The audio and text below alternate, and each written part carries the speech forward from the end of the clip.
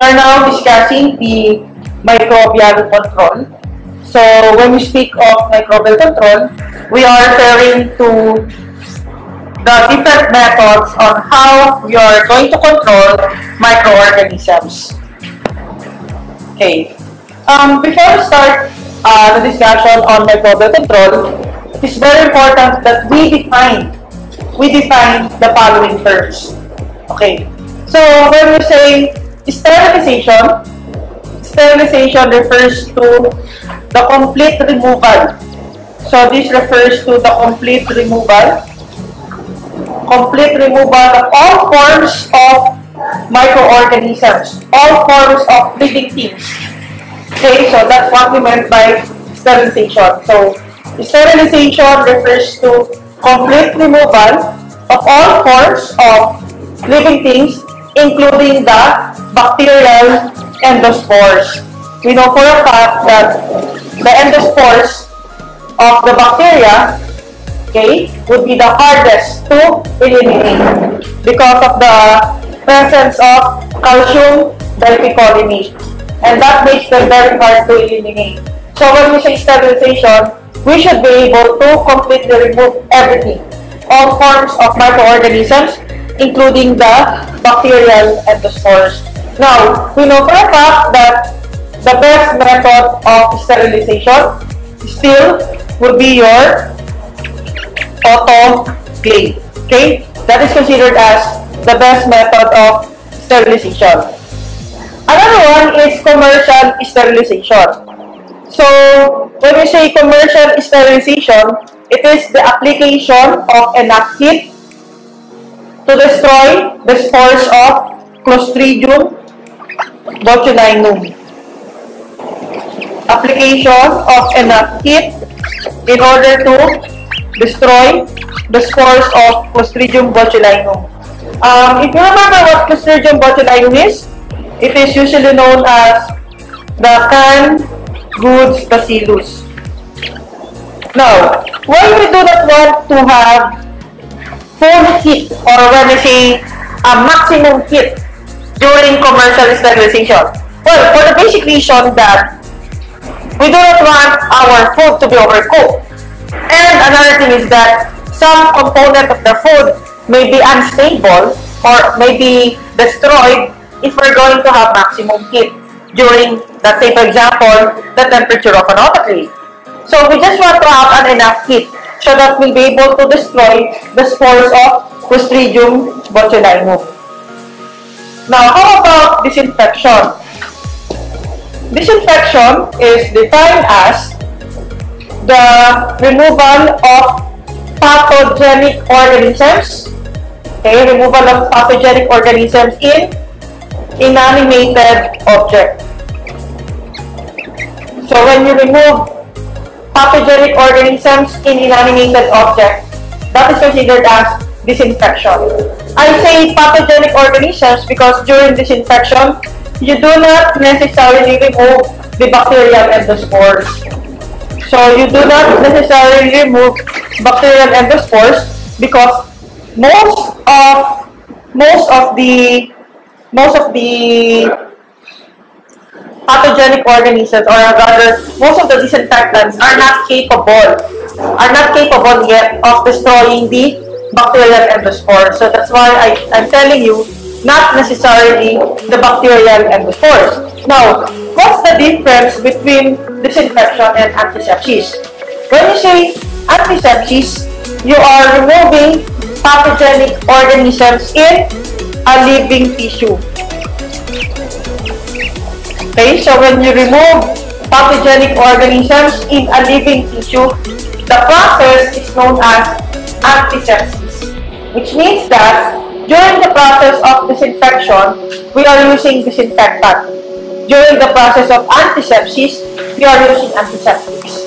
Expectedly, antiseptics are milder as compared to disinfectants because this would involve living tissue. So you do not want to first apply muriatic acid in your skin, right? So you gargle with antiseptics. You do not gargle with disinfectants. Formerly you gargle with Clorox. acid? None, right? Because those refers to what? Those things refer to disinfectant. Okay. And then, uh, first, um, degerming. The Degerming is the process of removing um, organisms in a small part of the body. So that's degerming. Let's say, for example, during the process of puncture. So, you apply first 70% alcohol at the puncture, but only at the small part of the body. So, that is degerming. Sanitization is the reduction of the number of microorganisms to a safe public health level. Okay, so reduction of the number of microorganisms to a safe public health level. So that is sanitization. Um, let's say, for example, uh, you place your utensils for eating food in a in in a heater. Your objective is not to completely remove the microorganisms, but to reduce its number to safe public level. Or let's say, for example, when you mop floors with disinfectant, so your purpose is to remove the to reduce the number of microorganisms, but not to completely remove them. So that process is known as sanitization. Okay. Now, uh, we do not want. So sanitization is the process, and let's say, for example, you are mopping, you are mopping floors you're mopping the floor, and then you just use water without any other disinfectant. So you're just using water and then you mop floor. So you know that process is not a really a good practice. Because if you're doing that, you're further spreading the microorganisms, you're further spreading microorganisms. So hinanap mo lang yung microorganisms kasi unlike when you use disinfectant, you are trying to reduce the number of microorganisms. Okay, so that is sanitization. How about germicide or biocide?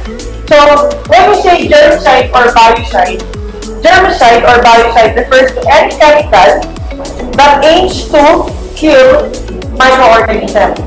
Okay, germicidal or biocidal. Okay, so which means that uh, there's also a difference between the term bactericidal and bacteriostatic.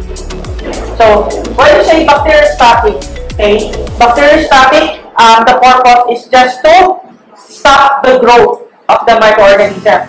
That's bacteriostatic. But when you say bactericidal, the purpose is to kill the microorganism. So that's bactericidal. Okay. How about the, the difference between sepsis and asepsis? Okay. So when you say sepsis, that refers to the process of contamination. Asepsis is the, the prefix a, the prefix a, that refers to absence of.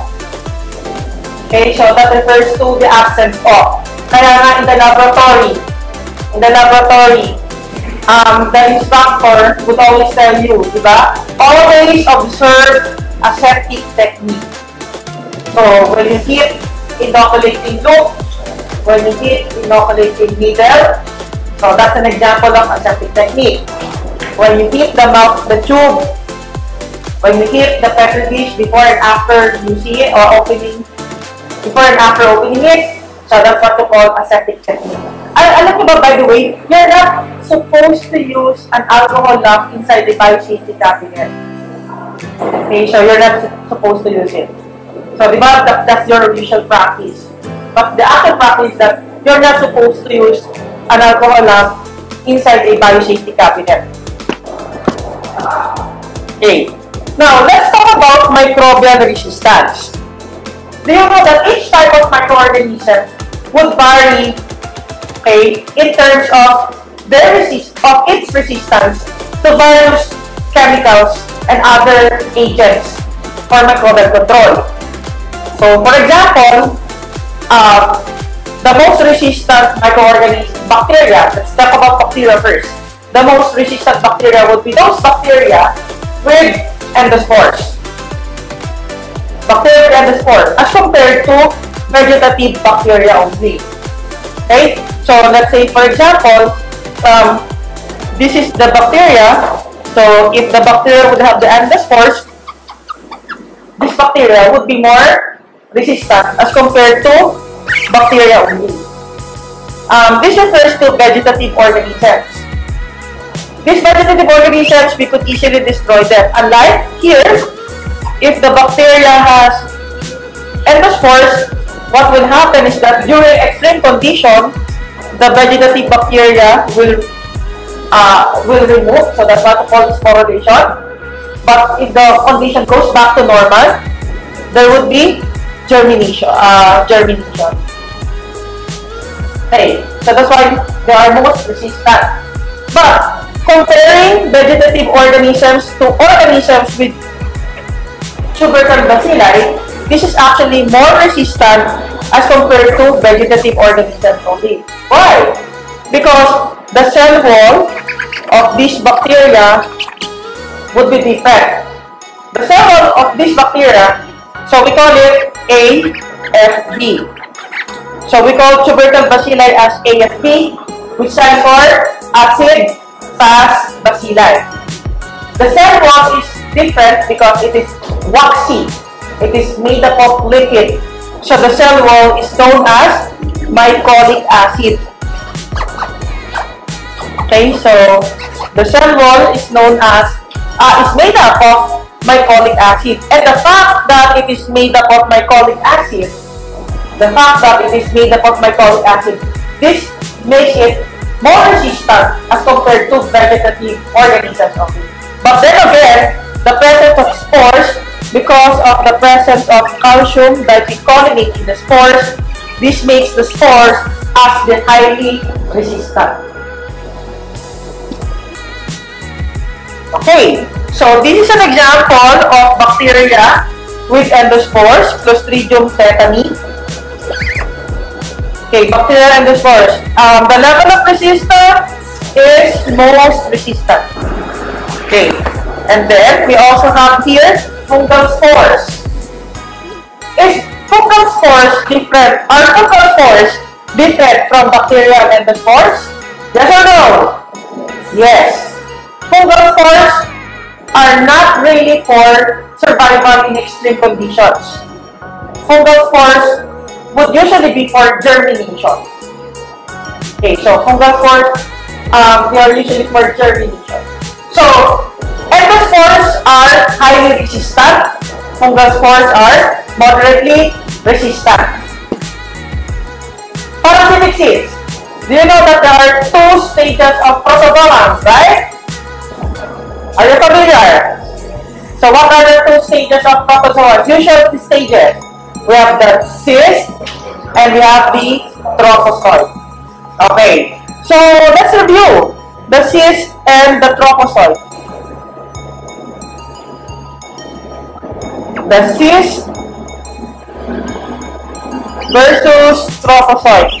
Who among here have already experienced Parasitology, but not necessarily passing it, that experience encountered with parasitology. Among you have encountered pa parasitology already? Not necessarily passing it. Okay, good, good. So you have already encountered the terms cyst and trophozoite. Very good. So, when you say cyst, this is considered as the infected stage. Infected stage. Trophozoite, this is the feeding stage. And they are highly motile. Cyst, excuse me, is usually non-motile. Um, cyst is, the cell wall of the cyst is highly resistant Unlike the trophozoite, um, it's actually more fragile. Hence, cyst is seen in usually in in dry condition. So not really dry, but in non non-watery stool. Okay, so cyst is usually seen in form stool, and they are and it is considered as the infective stage. Unlike trophozoite, it is usually seen in watery stool samples and most of the time they are non-infective except for protozoans that do not have disease. Because there are protozoans that do not have disease, like Trichomonas vaginalis. They don't have disease, right? So the infective stage automatically is the trophozoite stage. But if the protozoans have the cyst stage, the infective stage would be the cyst. Now, compare cyst and trophozoite in terms of resistance to chemical agents.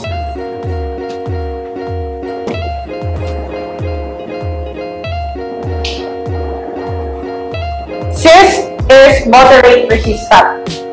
The level of resistance is moderate resistance. Okay? Unlike trophozoite, they are actually um, least resistant as compared to the cyst. Okay, this one I, I mentioned this you a while ago. Mycobacterium tuberculosis, acid-fast bacilli. Because of the mycolic acid, they are moderately resistant.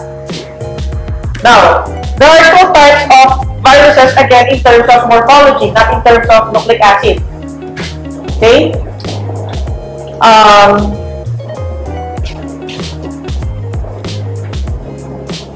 so we have, okay, let's compare. Compare and contrast. Naked viruses or this is the envelope viruses. Can you, uh, do you understand? Very good. Okay. Don't? Okay, good. Naked viruses are also known as the non-enveloped viruses. Unlike enveloped viruses, they have lipid okay, at the outer portion. And the lipid from the outer portion actually was derived this was actually derived from the host. So the lipids at uh, the outer portion were derived from the host. Ibig sabihin, galing sa atin yung lipids na yun. Okay. Now, naked viruses do not have lipid envelope. Therefore, they are what?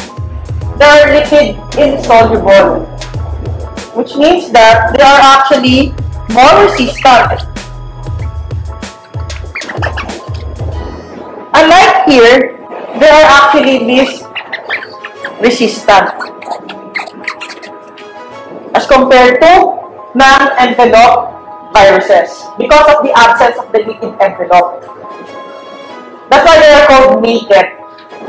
Naked, it's not the usual naked thing that comes into your mind when I say naked thing, ha? Naked, okay? So, naked means non-envelope. Example of this would be the poliovirus, uh, yeah, the poliovirus. However, there is an exception. Um, did you notice hepatitis B? Hepatitis B is classified as moderate resistant, right? Um, polio is an example of naked virus, but hepatitis B is an example of an envelope virus. So, which means that not all envelope viruses are least resistant. Some of them, such as the hepatitis B virus, is also considered as moderately resistant. Okay. Moving on, um, we have the least resistant microorganisms. These include most vegetative bacteria. So when I say most vegetative bacteria, these are what? Bacteria without endospores. Trophozoites. Remember trophozoites? Okay, so this is another example of moderate. This is a, what trophozoite is this? Can you identify? Or is it too traumatic for you to identify? Uh, what trophozoite is this? Huh? Yes, that's the trophozoite of Entamoeba histolytica. So they are considered as moderate resistant. So if you have two roommates with amoebiasis, one roommate is having a diarrhea, watery stool. One roommate asymptomatic, passing out well-formed stool. Which roommate is more infectious? The one with diarrhea or the one that is asymptomatic? Asymptomatic because that asymptomatic roommate of yours are cyst passers.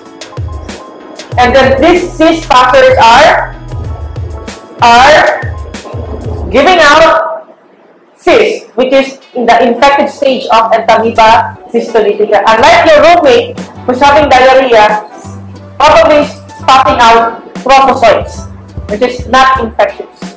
But still, you have to be careful with both of them. You do not want to be part of that life cycle, right? Then, this is an example of envelope virus. Influenza A. It's an example of envelope virus. Okay?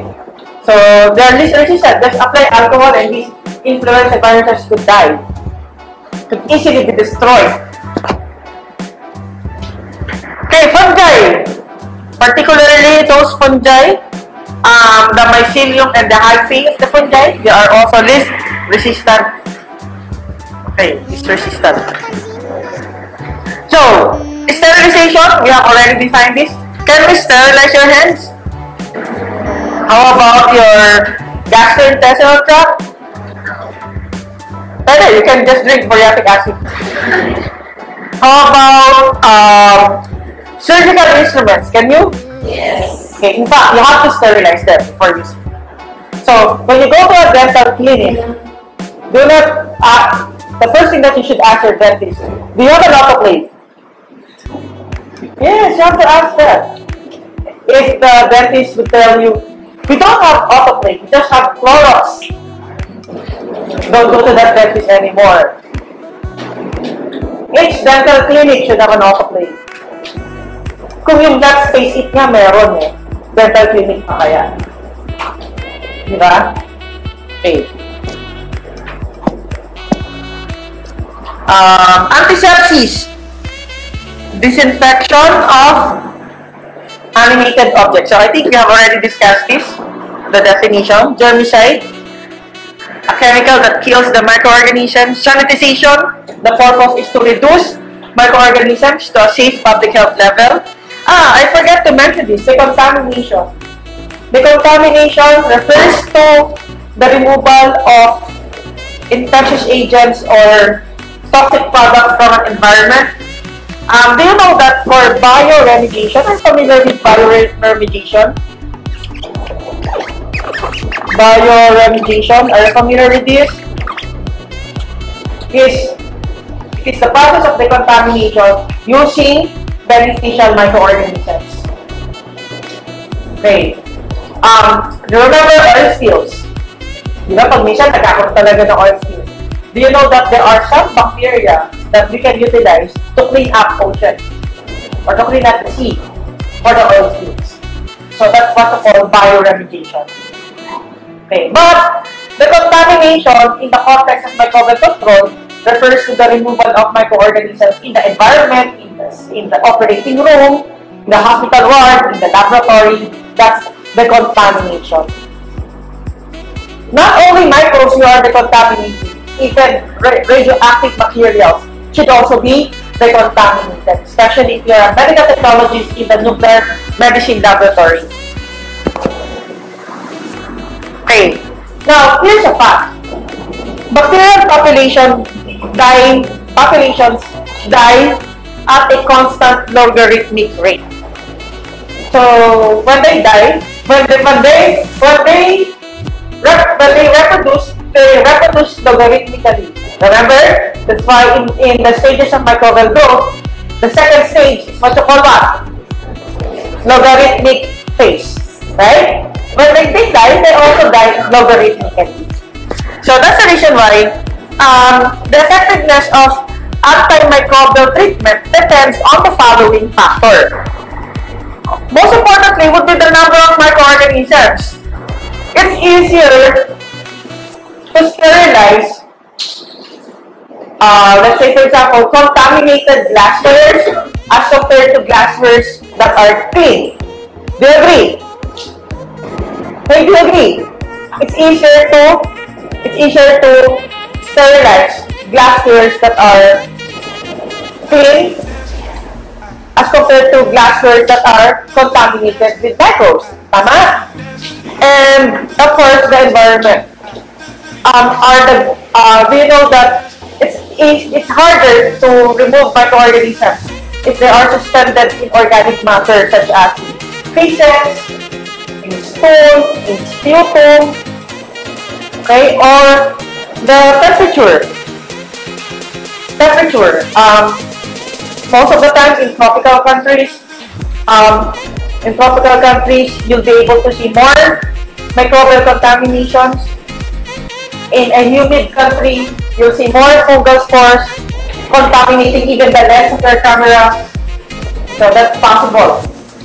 And of course, it's easier, uh, it's harder to remove microorganisms if they are in biofilms. Do you remember what biofilm is?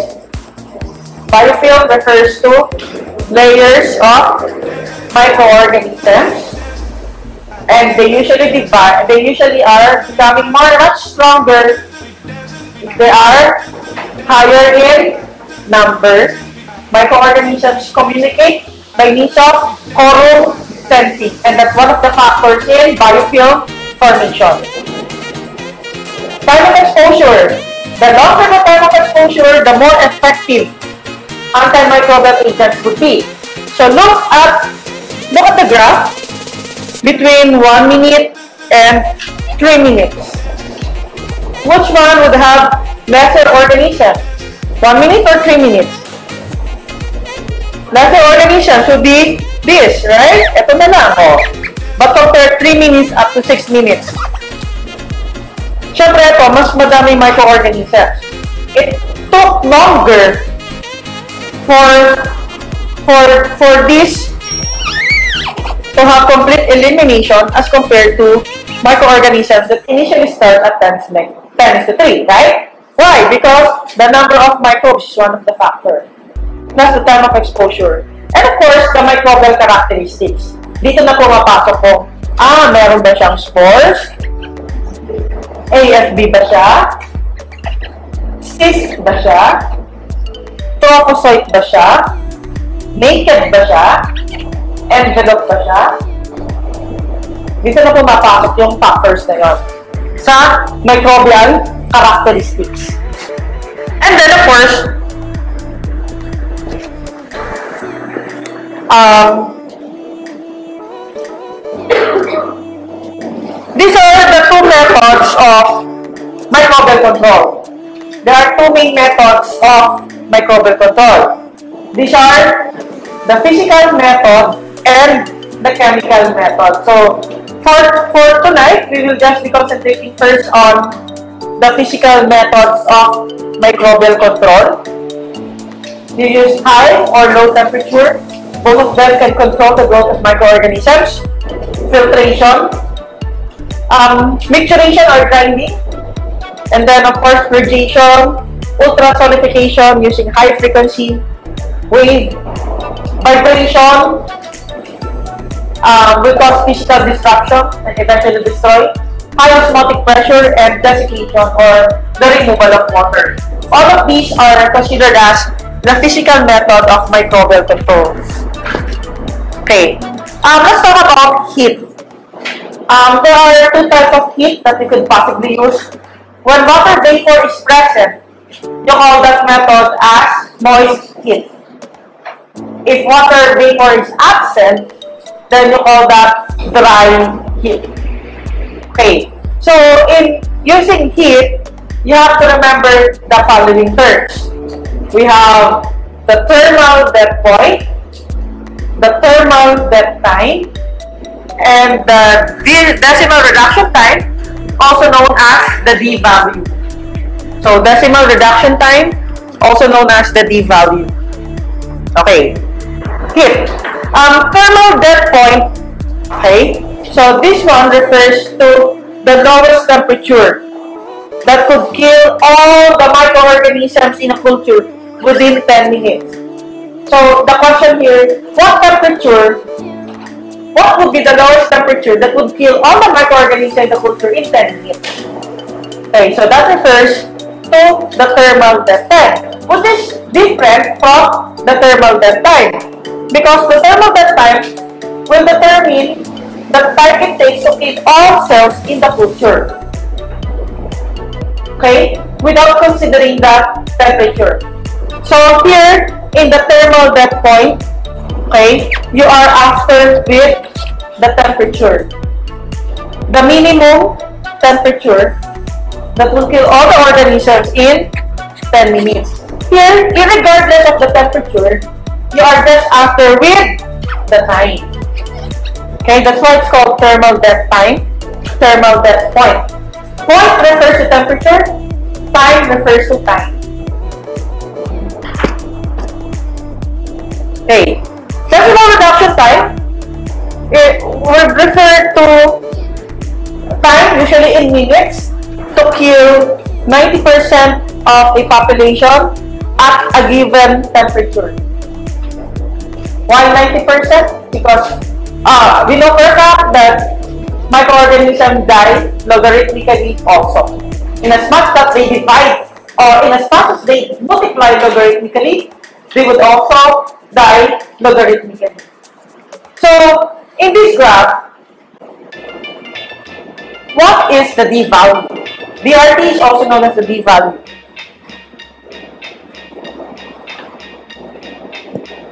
The definition is minutes or minute or so. It means which means time. Time is of importance. Here in time is of is of importance here. Say time. 90%. What's the initial population? 1 million. What's 90% of 1 million? 900,000. So, at what point, at what point, okay, did 900,000 bacteria die? After how many minutes? 1 minute. Diba? So, so the B value is 1 minute. Clear?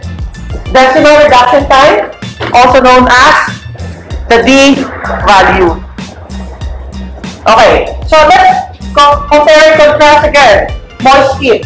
Presence of water vapor, you call that moist heat. Absence of water vapor, call that dry heat. But what's the advantage of moist heat over the dry heat? The advantage of moist heat is that uh, moist heat works faster as compared to dry heat. Okay, so that's the advantage. Moist heat works faster as compared to dry heat. Let's say for example, if you're using the method of dry heat, it will take 200 degrees centigrade. Uh, it will take two and a half hours at 200 degrees centigrade. Okay? To accomplish, okay, to accomplish sterilization. As compared to heat, it will only take 15 minutes. At 121 degrees at a much lower temperature to accomplish sterilization. Which one is more time consuming? Dry heat or moist heat? Dry heat. Which one is more efficient in terms of utilizing energy? Moist heat or dry heat? Moist heat. You don't have to spend much energy. Only don't, don't have to much to spend much energy to, uh, to achieve 121 degrees as compared to the energy that you'll be spending for 200 degrees centigrade. So moist heat therefore is more efficient, less time consuming. Because the mechanism of action of moist heat is that moist heat degrades protein at much lower temperature than dry heat and the protein degrades by means of coagulation. Protein could easily coagulate in the presence of moisture. So that's why it becomes more efficient than dry heat. Okay, so these are the different examples of moist heat. What's, what's, what among these techniques you are doing almost every day? Boiling. That's heat. 100 degrees centigrade for 15 minutes. Can you go beyond 100 degrees? Uh, no, because most of you are boiling water, right? And water has a boiling point of 100 degrees, which means you cannot go beyond 100 degrees. And since you cannot go beyond 100 degrees centigrade, boiling cannot achieve sterilization. Sterilization means destruction of spores, and spores are usually destroyed at a temperature much higher than 100 degrees. At what temperature? At 121 degrees centigrade for 15 minutes at 15 psi pounds per square inch. That's the principle or that's the time and temperature and pressure requirement for an autoclave. That's why autoclave is considered as the best method of sterilization. So, autoclave is considered as the best method of sterilization. So, the principle of an autoclave is steam under pressure. Okay.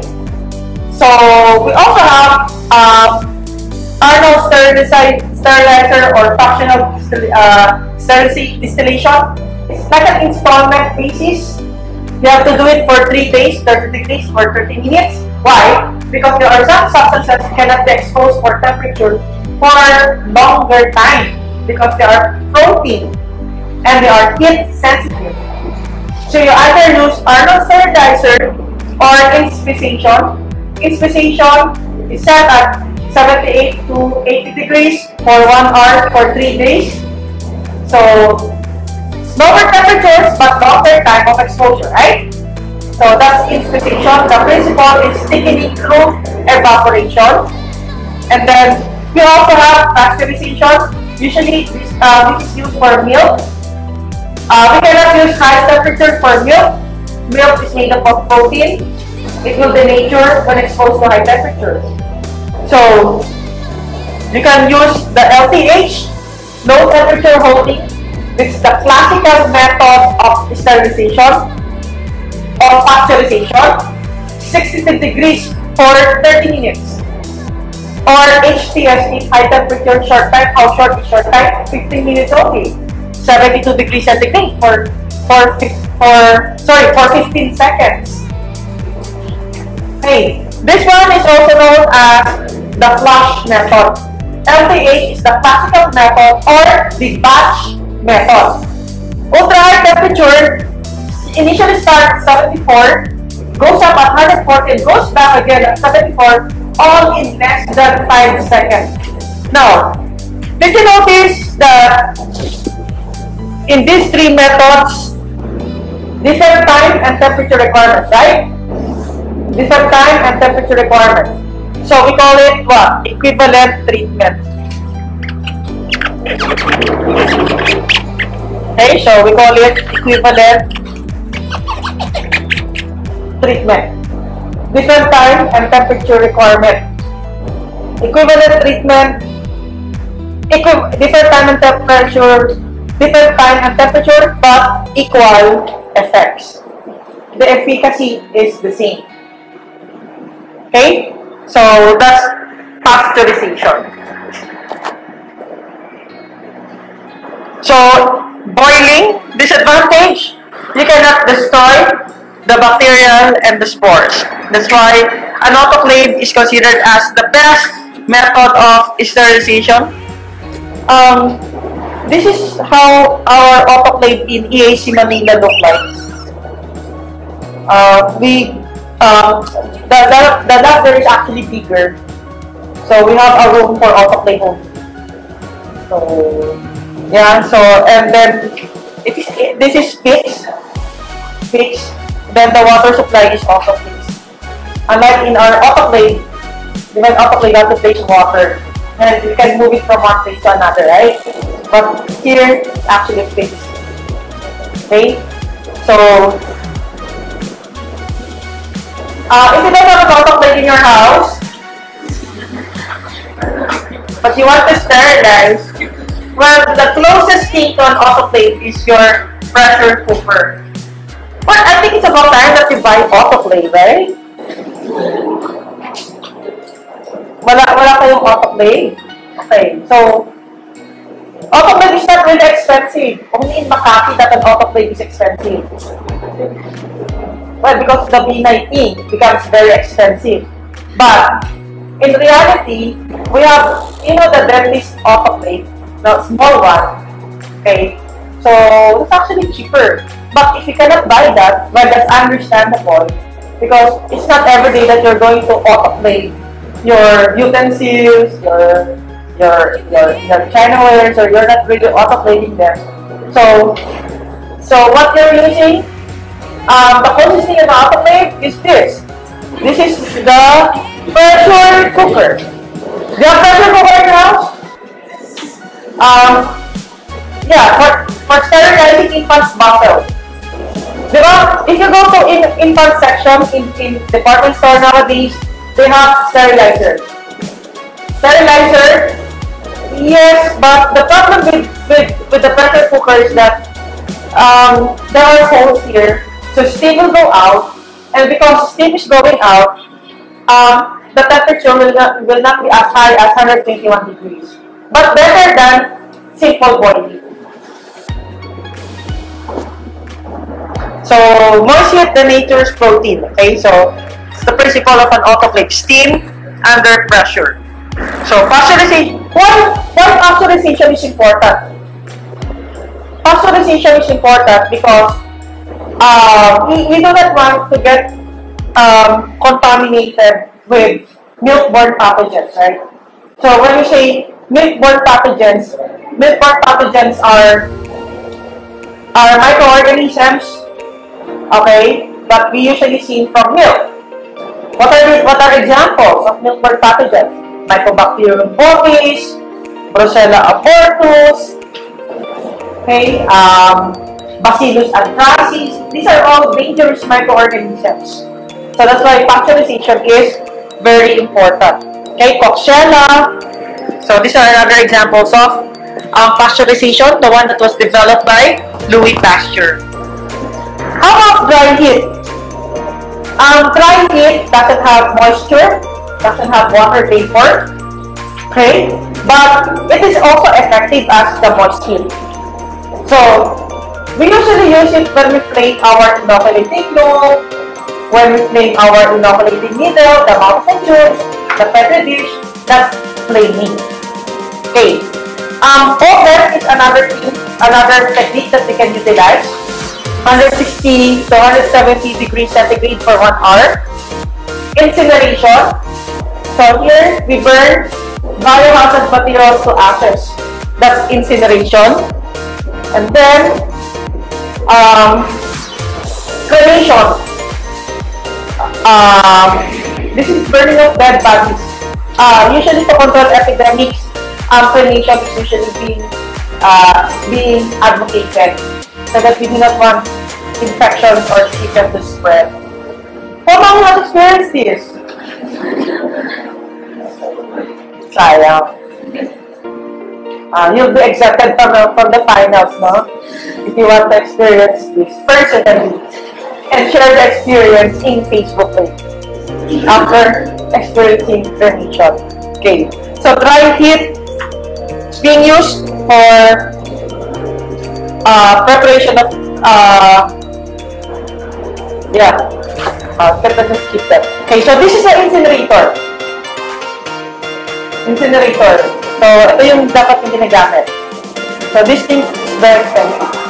But we're trying to buy this so that we'll not be will not be using any more alcohol now inside our fire safety cabinet okay? And then hot air oven actually the most common um, method for using dry heat. Okay. Um, filtration is another method of microbial control. Another um, example of physical method of microbial control. Um, filtration is um, removal of microorganisms. Do you know that the biosafety cabinet that we're using has a filter here? Okay, has a filter so that it will be able to filter um, harmful microorganisms, especially the biosafety cabinet level 2. Okay, so if you're going to process sputum, because you know, um, Mycobacterium tuberculosis is airborne, so when, when a sputum sample is submitted to you, we do not want to open it. Because if we're going to open it, it could, the aerosols could contaminate, could contaminate your colleagues in the laboratory. So whenever you are dealing with these microorganisms, you have to use it inside the biosafety cabinet. You don't have to go inside. Okay, only your arm should go in the biosafety cabinet. And did you notice the lever? Uh, the, there's, diba? So when you open or close, when you open it too high, the, it will alarm. Diba? Or if it's too low, it cannot cannot mechanically move your head. Yeah? So there's a certain level for the biosafety cabinet. Okay? Okay, so this is another example of filtration. In biosafety cabinet, the HEPA filter, a high efficiency particulate air filter. But this one is an example of a membrane filter. So membrane filter usually, if you want to filter the liquid, the filtrate is said to be free from bacteria. But what's the disadvantage of filter? Filter, in filtration, you cannot achieve sterilization because viruses would still be able to pass through the bacteriologic filter. That's why viruses are also known as filterable agents. Why? Because viruses are smaller than the pores. So viruses would be able to pass through bacteriologic filter. So, infiltration, uh, so aside from filtration, we also have low temperature, such as um, refrigeration, deep freezing. Mostly these are bacteriostatic. Lyophilization is is the um, rendering um, substances into a powdered form for long-term preservation. High pressure to denature protein. Desiccation prevents metabolism. Desiccation removes water. If there's no water activity, then microorganisms will not be able to grow. It utilizes desiccants. Have you ever seen a desiccant? Usually it's in pillowcases. When you buy shoes, when you open a vitamin bottle or drug bottle, there's also a desiccant. Osmotic pressure utilizes plasmolysis. So again, what's plasmolysis? Shrinking of bacteria when exposed to hypertonic solution. So these are examples of filtration methods, no? So you can utilize HEPA, high efficiency particulate air filter. The membrane filter, yung syringe, yung nilalagay natin sa syringe. Okay. Tapos, uh, birth probe, Chamberlain size, ito yung mga uh, another examples of filters that you can use. So, ang principle ng filtration, uh, it utilizes pores that are so small that bigger bacteria cannot pass through. Um, usually, ano yan eh, merong 8, merong 0.2, pero mahirap gamitin yung 0.2. Sobrang liit nito, pwedeng mag-clog yung mga liquid that has large proteins, particles, and they are very expensive. Uh, in fact, meron tayo, ginagamit ko sa thesis namin, thesis din na pag nag-isolate ng bacteriophages, uh, gumagamit kami ng 0.4 and 0.25 microns. So, know, very expensive. Um, each set costs about 25,000 pesos. So, yun yung... So, imagine, a red blood cell, 7.5 microns or 75,000 nanometers, ganyan siya kalaki. Tapos, um, ang Streptococcus bacteria, 750 nanometer. So, yung filter na gagamitin ninyo, 200 nanometer. Kaya ba, makakapasok ba ang, ang red cell doon? 200. Makakapasok ba ang bacteria na 750? Hindi. Pero itong mga to, makakapasok sila. Ang mga viruses. Kasi, bakit sila makakapasok? Mas maliit sila dun sa mas maliit sila dun sa sa ano, sa sa pores. Kuwari, pag binuksan natin yung bintana, makakapasok tayo lahat. Kasi mas mas maliit tayo dun sa bintana. Yun yung principle ng filtration.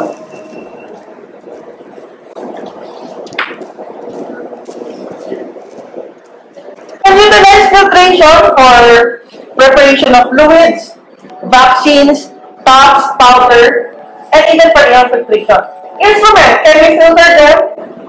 Pwede, dudurugin muna natin yung instrument.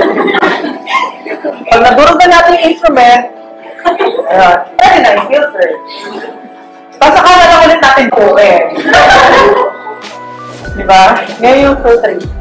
Ano lang yan? Alam niyo yung ano, pag, pagkasala kayo ng buhangin, di ba? That's filtration. Filtration. Pero syempre dito, ang pinifilter natin, mostly liquid and air. And even powder. Tops and powder, pwede rin pala. Liquid, air, tops, and powder. Instrument, hindi pwede. Unless gusto natin durugin. Um, bakit talaga yung filtration? Alam niyo ba yung Urase Pro? Familiar kayo sa Urase? Urase Pro. Wala tayo nito. Like, culture medium to for for urase reaction. Ah, hindi siya pwedeng i-autoclave. Kasi pag in-autoclave nyo, and then to it, ano masisira? Magda-denature. So, paano ninyo, paano, paano nyo prepare ang culture medium na to? Kailangan ninyo mag-filter. The only way para ma-prepare yung culture medium na to. Filtration. Urase prop. Uh, ito yung sinasabi ko sa inyo, yung, yung biosafety cabinet utilizes HEPA, high efficiency particulate air filter to remove organisms in exhaust air. Para kunwari, meron mang acid fast bacilli dito, hindi siya mapupunta sa host. Pupunta yon dito sa isi-filter niya dito. So, pero dapat nagmamask pa rin siya. Gawin nga na lang natin. dapat nagmamask pa rin siya. May mask na siya. Ayan. Baliktad ba? Ha? Baliktad? Hindi ah. Okay, hindi na baliktad. Okay, so, can also be used in high efficiency respiratory mask. Oh, um, refrigeration will decrease chemical reaction and possible changes in protein. Bakit ba natin nilalagay yung pagkain sa refrigerator? For food preservation, right? Uh, nilalagay ba natin yung pagkain sa refrigerator para para mamatay ang bacteria? Actually, no. Okay. Pero pag nagtagal yung pagkain sa ref, mapapansin ninyo, magsisira pa rin siya. In fact, magkakaroon din siya ng fungi. Kakaroon ng molds. Napapansin niyo yan? Kasi eventually, nakakapag-adapt yung microorganisms sa temperature. Okay, deep freezing. Kung ayaw nyo talagang magkatubuan, negative 50 to negative 95 degrees centigrade. Meron ba kayong gantong freezer sa bahay? Unless, nagtatago kayo ng vaccine, viruses, and other drugs. Pero kung gusto niyo talaga ng long-term preservation, ito yung lyophilization. Kaya, pag nagtaka kayo, tataka ba kayo, reagent natin sa CC, powder, di ba, may resistant natin. Mas stabilize kasi yung chemicals kapag they are lyophilized. Kahit yung mga vaccines, okay, they are more stable kapag lyophilized. But once you resistant them, mas madali na sila ngayon mag-degrade. So yun, yun yung purpose ng lyophilization. High pressure um, utilizes the uh, principle of alteration of molecular structure of protein and carbohydrates. Um, we are actually using this for preservation of colors, flavors, nutrient values, and fruit juices. Desiccation, I think I told you this a while ago. The principle of desiccation is disruption of metabolism because this one involves uh, removal of water. Water is important for for activity of the microorganisms. But desiccation is only bacteriostatic. It will not kill the microorganisms but will simply stop them from growing. So it is also being utilized in food preservation. Osmotic pressure utilizes the principle of plasmolysis. Okay? Plasmolysis would result in loss of water from microbial cell. Um, it is also used for food preservation. Okay, radiation. There are two types of radiation. Ionizing and non-ionizing. What's the basic difference? In ionizing radiation, it will destroy the DNA, while the non-ionizing radiation will simply cause damage to DNA.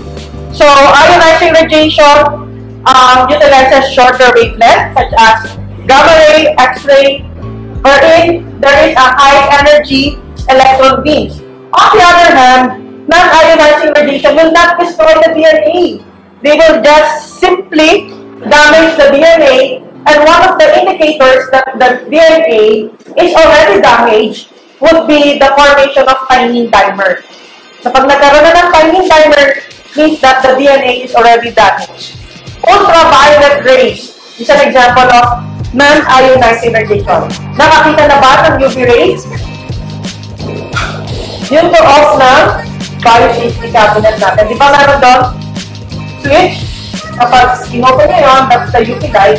So magkakaroon ng ultraviolet ray, yung yung loob ng biosafety cabinet. So syempre, huwag mo yung expose yung sarili ninyo dun sa UV light. Because your DNA might be damaged. Yun, pwede kayong magkaroon ng mutation. So baka mamaya maging X-Men na kayo, di ba?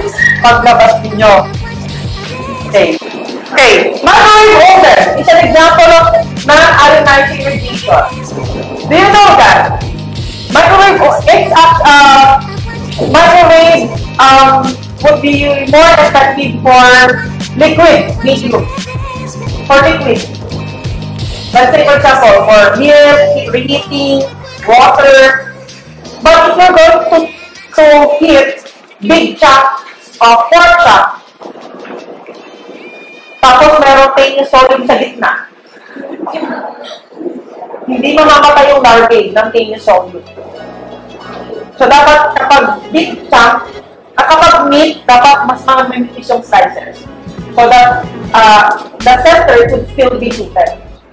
Kasi heat yung ano eh. Ang, ang, unlike yung, yung, ano, UV ray, invisible ray yan. Hindi natin nakikita, di ba? Makikita niya ng violet kasi nilagyan natin ng colored violet para malaman natin na UV light siya. But yung ray, hindi natin nakikita. X-ray ba nakikita ninyo? Hindi rin, di ba? Even yung microwave radiation, hindi nyo nakikita. But may product ang microwave radiation. And that is your heat.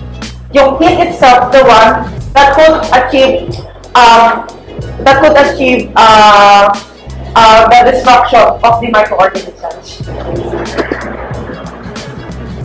Ayan, so, sabi rito, microwave kills by heat. And they are not antimicrobials. So, um, UV light is also within the non non visible spectrum, less than 400 nanometer kung kanyang wavelength. Ang microwave, infrared, radio wave is also within the non-visible spectrum, more than 750 nanometer yung kanyang wavelength. So, hindi nyo talaga makikita ang UV light, microwave. So, kaya nga, mali yung watawat natin eh.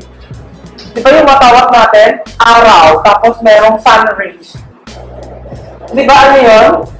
Yung ultraviolet light yun, dapat hindi natin nakikita yun. Kaya ang tamang, ang tamang watawat, yung watawat ng Japan. Kasi yung Japan, ano lang yan? Bilog lang, di ba? Walang sunlight. Kasi sa totoong buhay, hindi naman talaga nakikita ang ultraviolet light. Ang sun ray, hindi naman nakita. Kasi within, ano yan, invisible wavelength. Yan. Mabuhay ang Japan, mabuhay ang tatay ni Naomi. Okay. Tsaka ang Thailand mabuhay, no? Okay, so,